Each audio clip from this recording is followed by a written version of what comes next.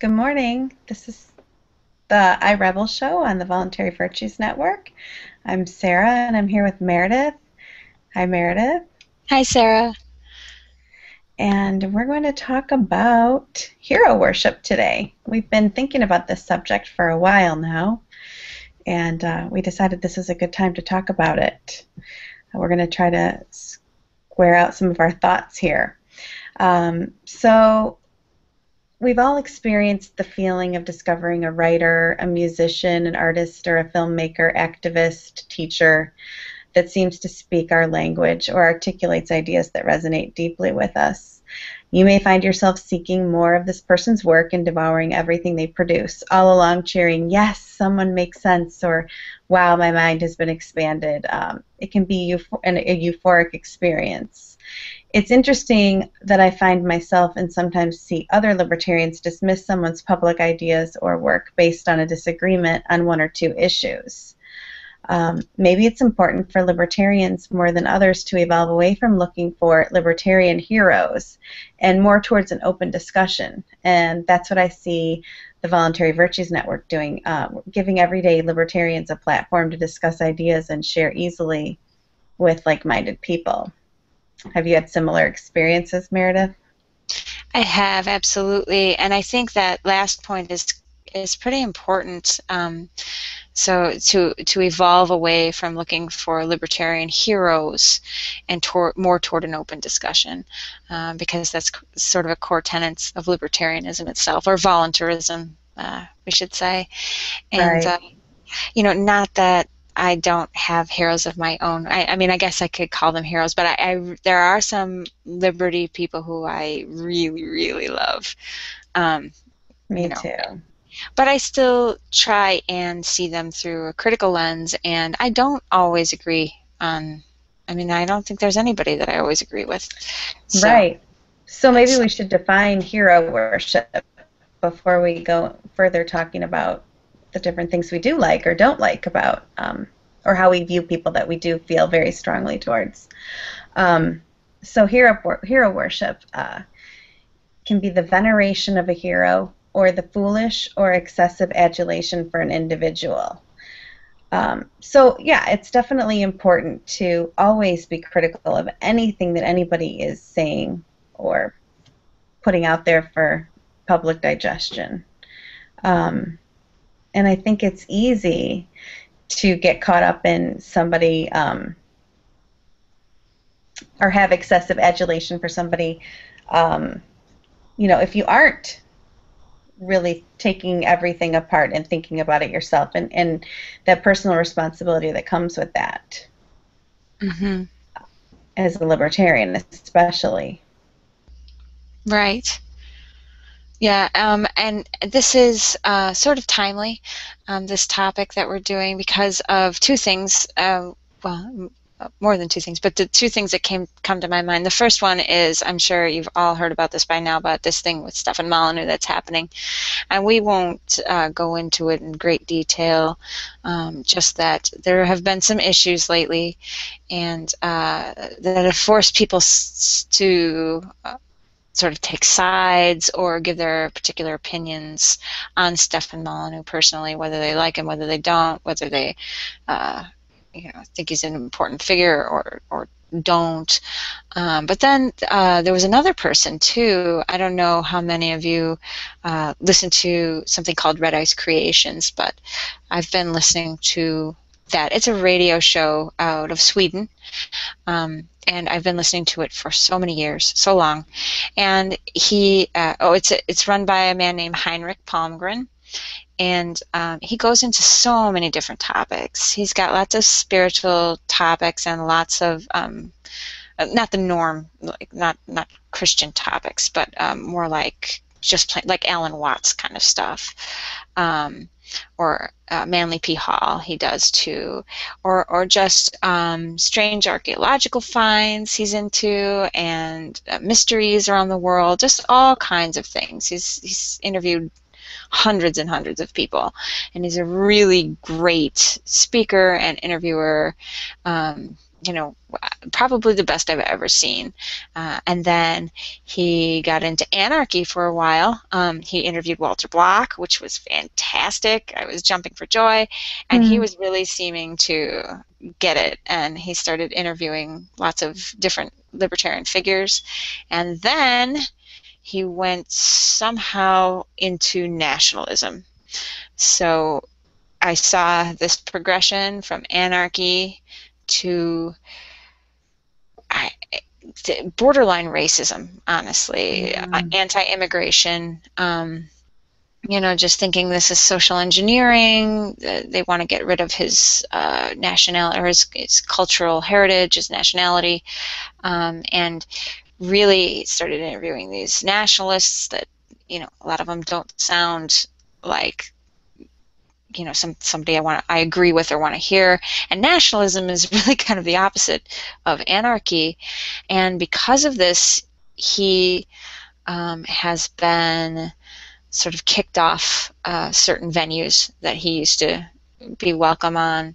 So this is another person that a similar thing has happened with and uh, and it's kind of it's sad. It's disappointing. I, I, I, listened to him for longer than I listened to Stefan Molyneux. It was you know a long time, and I really admired this guy, and I'm kind of still dealing with that.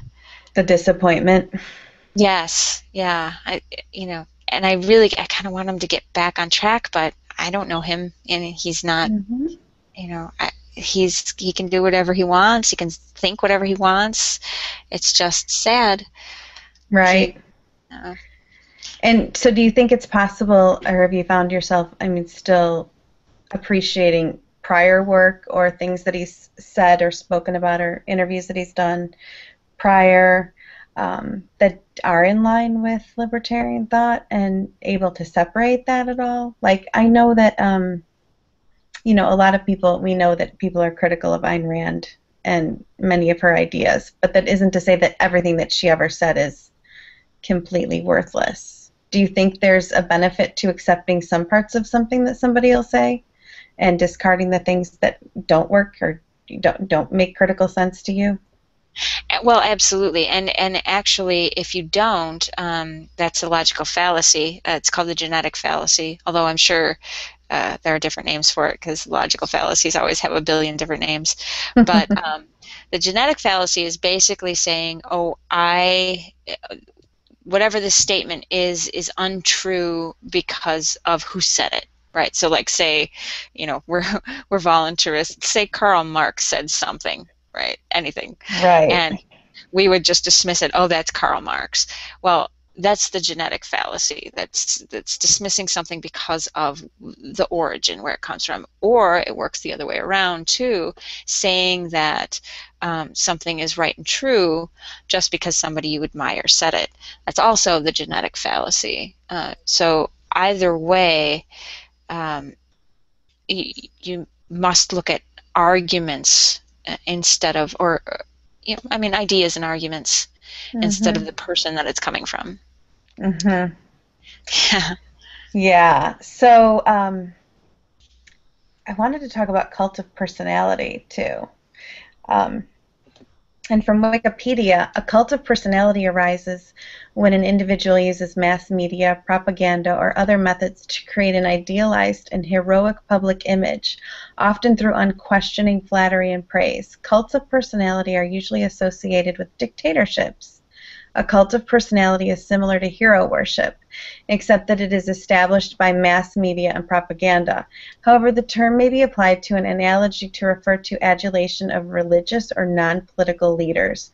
While the cult of personality generally applies to the enhancement and promotion of a political or religious doctrine, it stands to reason that it is also asserted in everyday situations where popularity is used to advocate conformity to philosophies and lifestyle, even products and attitudes by the way of peer pressure and herd mentality. Mm-hmm. So that speaks to a lot of what I've ex- I, have experienced when um, you will be critical of somebody um, that people do hold up as a hero. Um, I mean, certainly even like with a presidential candidate or um, I mean, Ayn Rand, right? I mean, I think I've I've uh, seen people exhibit that kind of like the peer pressure, herd mentality, even criticizing her. Mm-hmm. Yes, um, I mean we saw this with Barack Obama. Uh, you know, big time. There was you know Mhm. cult of personality built up around him, uh, and I I think it's interesting um, that hero worship is just hero worship, but when the state gets involved, it's called cult of personality.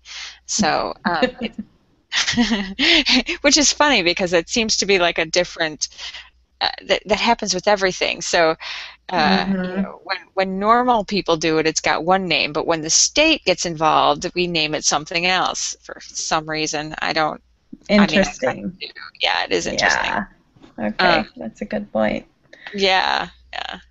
But they definitely, uh, I, I think the state does need uh, the cult of personality to keep them going. It's just one of their tools, and it's a strong one eh, uh, of Mhm. of getting people on board and and, and perpetuating their legitimacy. Um, Absolutely. So, which brings me to another point um, that I was thinking about.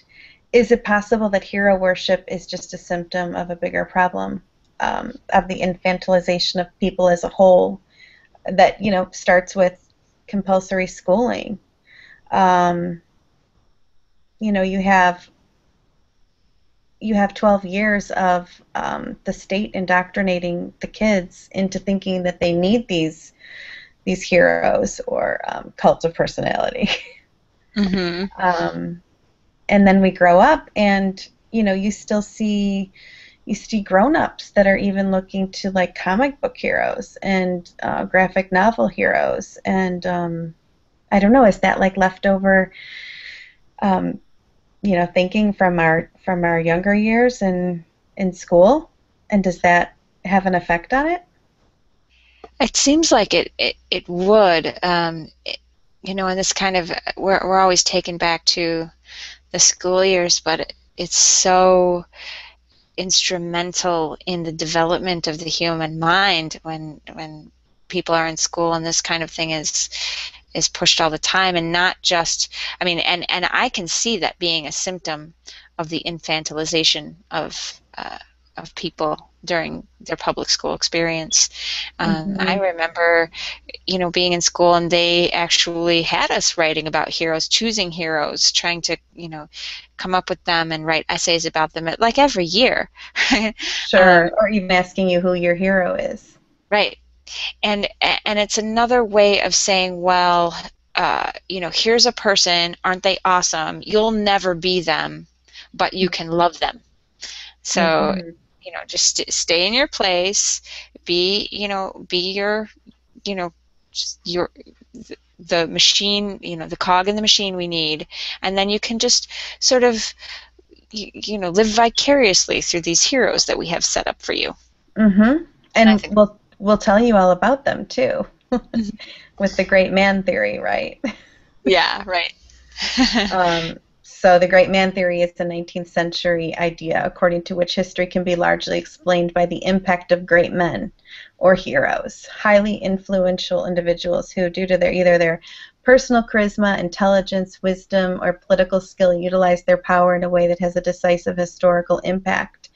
The theory was popularized in the 1840s by Scottish writer Thomas Carlyle, and in the 1860s, Herbert Spencer formulated a counter-argument that has remained influential throughout the 20th century to the present. Spencer said that such great men are the products of their societies and that their actions would be impossible without the social conditions built before their lifetimes.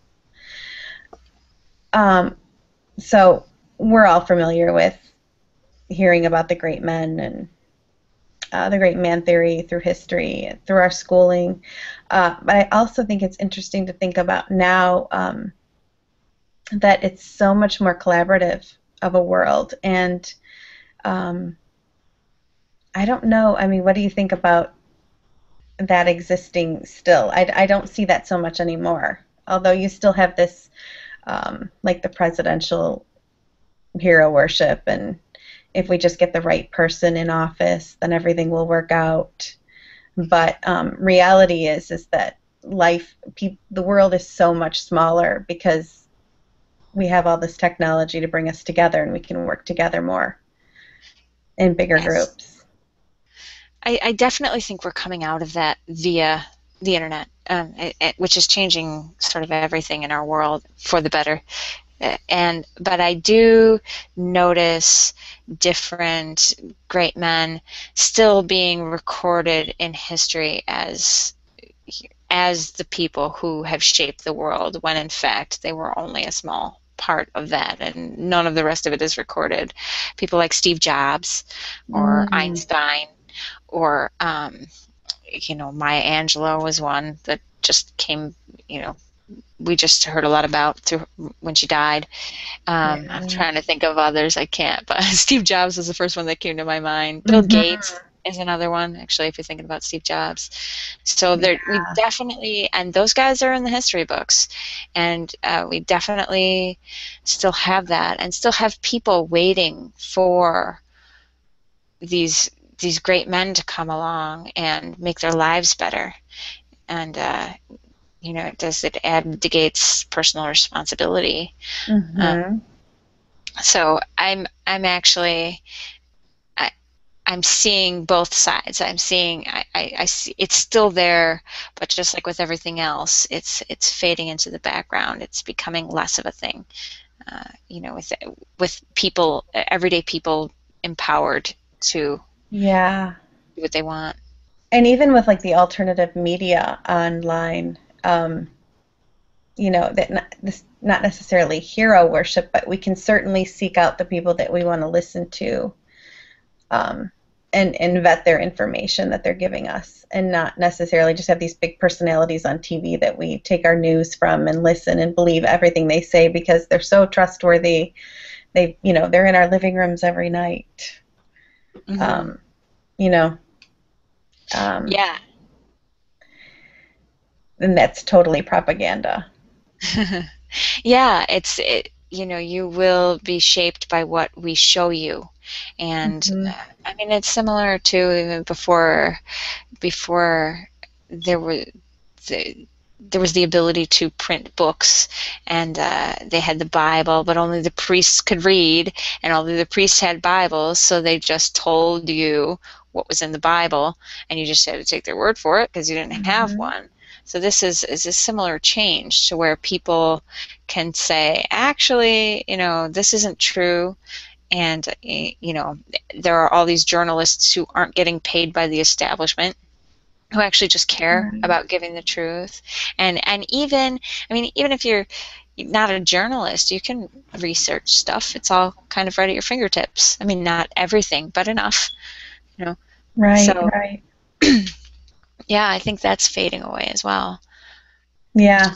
awesome And then we have military hero worship. Can't talk about hero worship without talking about the military.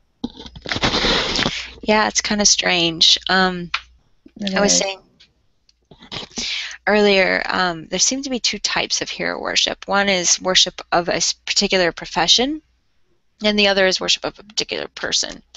Um, so, like with military hero worship, it's like everyone in the military is awesome. You know, support our troops, Right. or you know, every astronaut is a hero for some reason. You know, Right, right. that's a And- You had another point about that too, right? Didn't you read something we were talking about? Like, oh yeah. what does that say? Um, hmm Um, this was an interesting uh, point that somebody made, uh, and that's if we're venerating all these people as heroes, and it's not just the military or the or the astronauts or you know firefighters. It's just you know when you see somebody that saves a child from drowning, or you see um, somebody who I, I don't know, I can't you know s- the teacher huddling around the kids. Right. Storm, I think. I remember you mentioning that. Mhm. There was an example of teachers, and preschool teachers, in, in a storm. I can't remember, probably like Hurricane Katrina, a big storm. And they were venerated as heroes because they ha- were huddling with the children.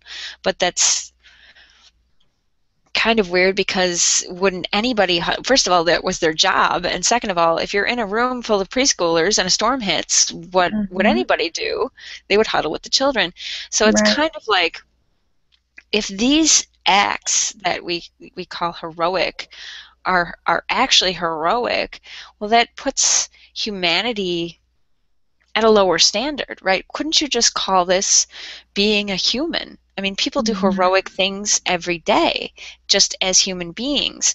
So that maybe we ought to update our our definition of the hero mm-hmm. because you know, or either that or just hold humanity to a higher standard than we already do. I mean, right. if you're in a, in a room full of preschoolers, I would expect you to you know keep them safe as safe as you possibly could just because you're a human being and that's what they do right, right. so you know.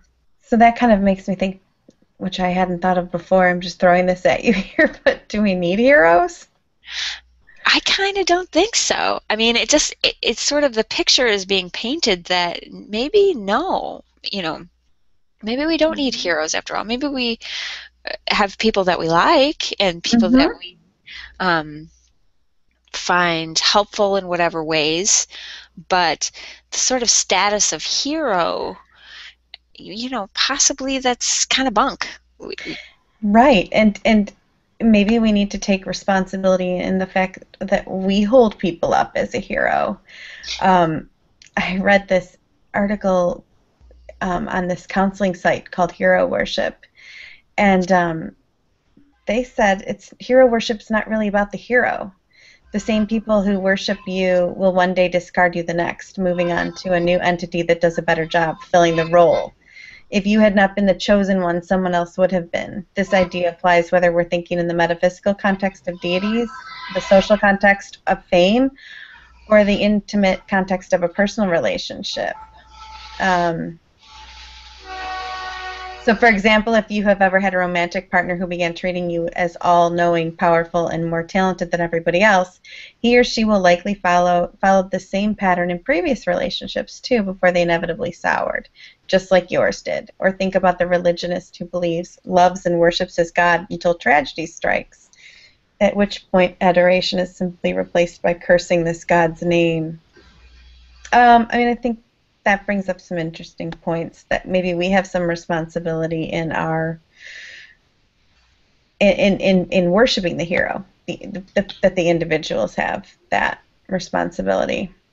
Yeah and i mean that's that's that and um you know the the whole idea that we need to hold humanity up to a higher standard so that we stop calling everybody heroes that actually puts the puts the responsibility squarely on the people who are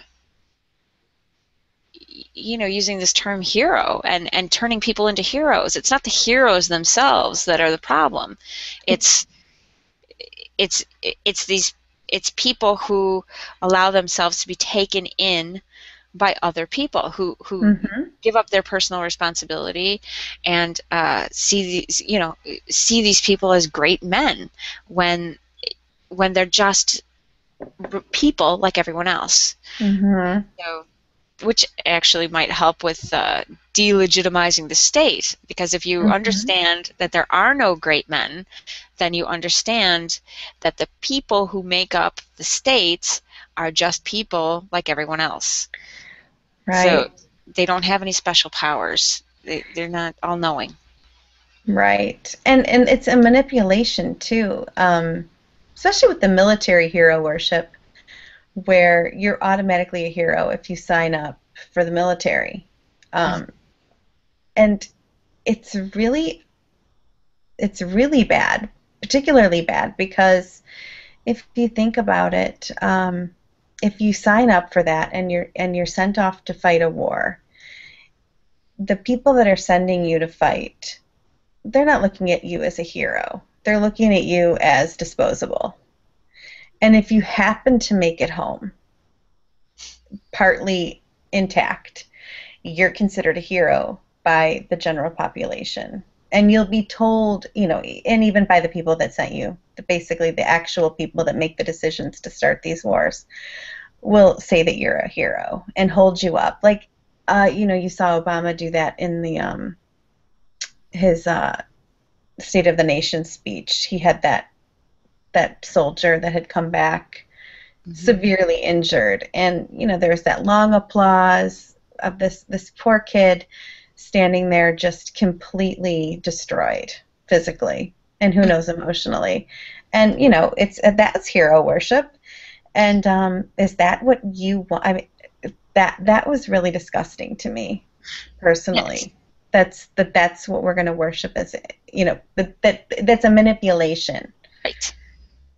Yeah, and it's actually um, this hero worship thing, this great man theory, the cult of personality, uh, and especially, I guess, if we're talking about the state, we're going to use the the term cult of personality, or I mean, you know, hero worship would do too. But that's what it's for: is emotional manipulation.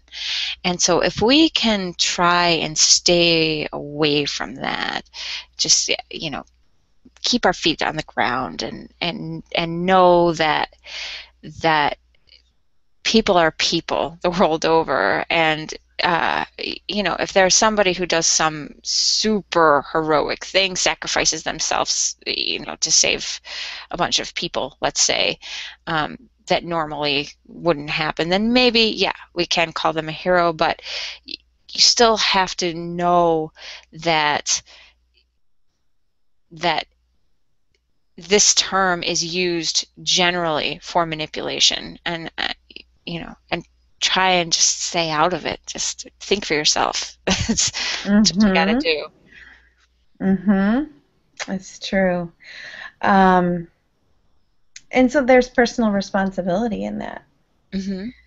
um, that you have to try not to build heroes up um, and then they don't need to be torn down right? Yes, because that happens as well, um, mm-hmm. just as often actually. And uh, you know, well, like you were just saying that, uh, or the article said, is that uh, people who tend to do, you know, have worship heroes will just toss them out, you know, as quickly as they drew them in. So, mm-hmm. I mean, it's really about the people who are worshiping and not the people who are being worshipped. Right, right. Very interesting. Mm-hmm. Um, so I think that the important thing to remember is to try to separate ideas from people um, and people from ideas mm-hmm. and separate emotions um, from thinking and emotions from people. So if you're if you're feeling emotional about somebody, uh, then you're you're you're you're not thinking critically about necessarily what they're saying or their message. You're feeling about them, and so you might be more inclined to hold them up as a hero and be unwilling to hear something that's not okay that they're saying or something that you probably wouldn't agree with if you were feeling emotional about it. Um, and same thing with critical thinking. So if you're thinking critically, you're not you're not feeling with your emotions. You're thinking. Um, and so I think we just need to try to remember that. Absolutely. Yeah, I think that's the key is is really you can really like someone and you can you know admire them, but you it, but it's it's important to um, to separate the person from their ideas. And, you know, don't commit that genetic fallacy, right? Um, right. Anybody can have a good idea, and, uh, and and this the ideas are what we need to focus on, and and not the people, even even though you might like them. That's... Right, right, and it's okay to uh, debate or have a conversation about different ideas that have been put forth by different people. Mm-hmm. Um, and it doesn't mean that you need to rush to just defend them because you really like them. Um, right. And I think that that's that can be really hard mm-hmm. to do, but that's you know that's the personal responsibility of freedom. Yeah. And not falling prey to tricks like you know um, the manipulation that hero worship can become from both sides. Yep, absolutely. Involved. Yeah, yeah, yeah, it works both ways. Um, either you and and this is uh, what I was thinking about when you said separate emotions from thinking and emotions from people. This is a tough one. Um, Mhm. it's really hard, and uh, like we were talking about the Stefan Molyneux thing, I have my own opinions, just like everybody else does, and I realized that I need to. I'm not thinking about this clearly. I'm just not, um, and I, because I'm emotionally invested. So, you know, I, I'm trying to separate that, but in this case, it's particularly difficult.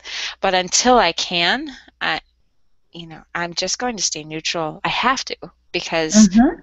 I know, and this at this time right now, uh, my emotions are what's doing the thinking for me. So, you know, Mhm. maybe I'll, I'll have an opinion down the line, but at this point, you know, m- my emotions are talking for me. yeah. Right. So maybe Right. sometimes it's good to just wait until you can uh, not be emotional anymore. You know. Right. Nobody says that everybody has to come out on one side or the other of any particular thought or uh, group of thoughts Mm-hmm. instantly.